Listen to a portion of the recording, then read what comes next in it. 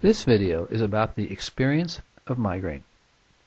Hello, my name is Craig Blackwell. I'm an ophthalmologist in Santa Cruz, California. In this video, we will look at how you experience migraine. For example, what you may see or feel, and what are common triggers. In the second video, we discuss the medical aspects and give an overview of treatment strategies. And in the third video, we take a careful look at the mechanism of migraine. What is going on in your head to make all that happen? It is important to understand that this is for your information and does not replace consultation with your doctor. We are starting with this portrait of Thomas Jefferson because he was probably the most famous person with migraines. The following quote is from biographer Charles Ellis. In April of 1776, Jefferson was struck with a mysterious malady that left him incapacitated for more than a month. The ailment turned out to be a migraine headache, the first recorded occurrence of what proved to be a lifelong affliction that flared up whenever he felt unduly pressured. That is a story that many with migraine would identify with. While we know a lot more about it now, we are still a long way from a full understanding. Let's start off by recognizing that migraine is not defined by the headache. It is best to think of migraine as a group of various neurologic symptoms that occur in episodes and that all come from a common cause. There is usually a headache, but not always, and migraine appears to be inherited. Speaking of various neurologic symptoms, this is the full International Headache Society list of different types of migraines. There are too many to discuss them all, so we will limit this discussion to the three most common types. These three types are different ways of combining two things, headache, and aura. Aura is a particular visual display or sensory defect that comes just before the headache, if there is one. The three types are 1. Common migraine, which is the headache alone with no aura. Classic migraine, which is aura followed by headache. And the aura alone, visual or otherwise, but with no following headache. The International Headache Society has different terms, but I will stick with these historic names because they are familiar and easy to remember. The features that identify a headache as being a migraine are the headache is one-sided, usually throbbing, particularly with motion or straining. Usually it is moderate to severe in intensity. There is nausea, possibly vomiting. There is sensitivity to light and sound. Pain is made worse by physical activity and the headache lasts from 4 to 72 hours. People with the headache usually prefer to be in a quiet, dark room and sleep. Often the headache is gone on waking. The aura is a sensory disturbance that occurs with the migraine episodes. It can involve vision, sensation, or movement. 30% of people with migraine have the aura. Here is the beginning of the typical visual display. On the left there is a little missing area, which over a few minutes grows into a crescent of zigzag flashing lights, like on the right. Some describe it as like a kaleidoscope, others use the term scintillations. At full development it may cover half of the field of vision. Within the crescent there is an area of vision that goes missing. That is called a scotoma. Note that the visual display is present in both eyes occupying the same half of vision. It evolves over 15 to 30 minutes, sometimes longer, then the flickering lights gradually fade away and vision returns, like in the picture on the right. Other descriptions of visual symptoms include a sensation of watery movement, a blurred area, or a star-shaped figure. Rarely there can be a blackout of vision, but that must be distinguished from other worrisome causes like stroke. Surprisingly, some people take artistic inspiration from their aura pattern.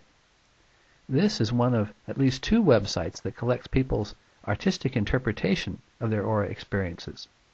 There is a gallery including even big-name artists like Salvador Dali. If you are a migraine person, looking at other people's aura experiences is both interesting and disturbing.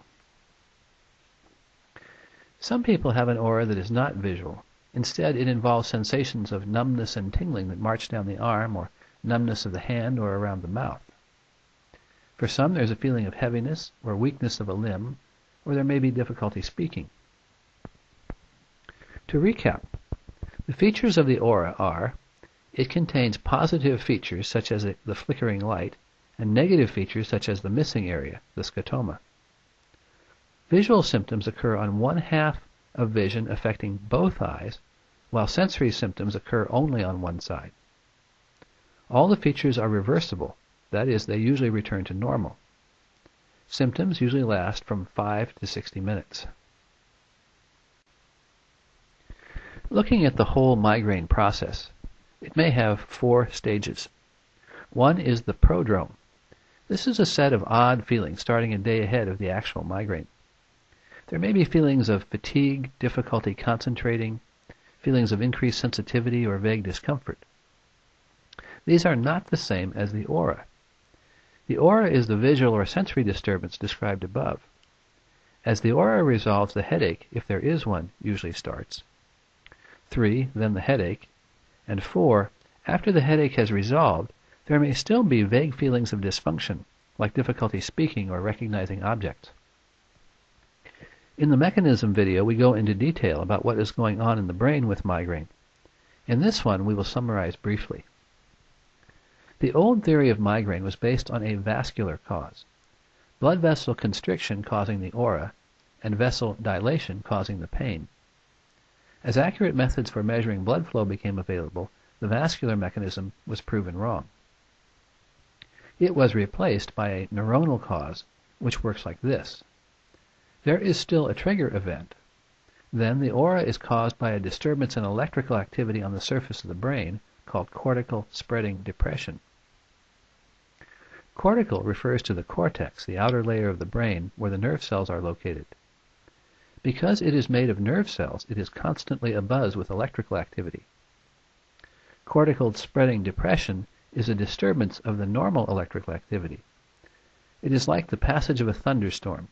A wave of increased electrical activity starts out at a particular spot, usually in the visual cortex. It spreads gradually forward over the surface of the brain at about 2 to 3 millimeters per minute. After the wave passes, electrical activity in the area behind is significantly depressed. The speed and spread of the electrical excitation exactly matches the progression of the shimmering part of the visual aura.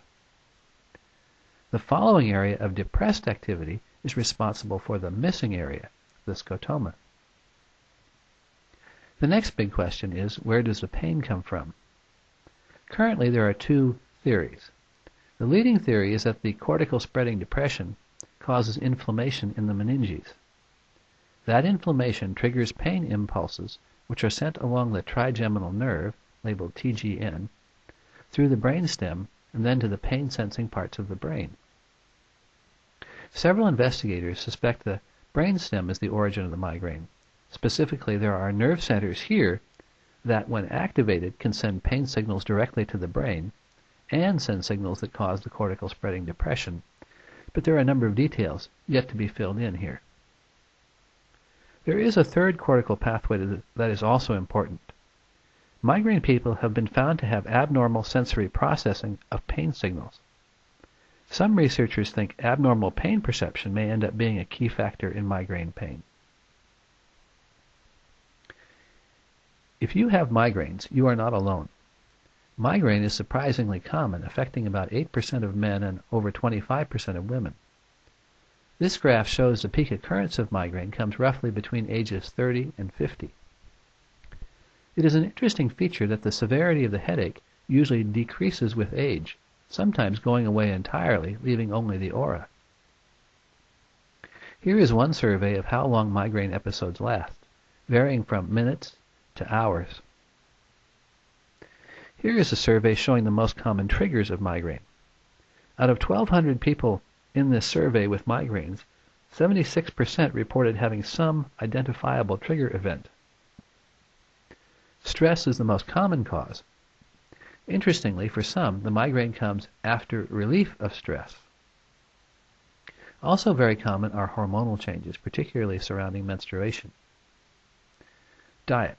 About a quarter of people with migraine can identify a particular food or chemical which can reliably trigger an attack.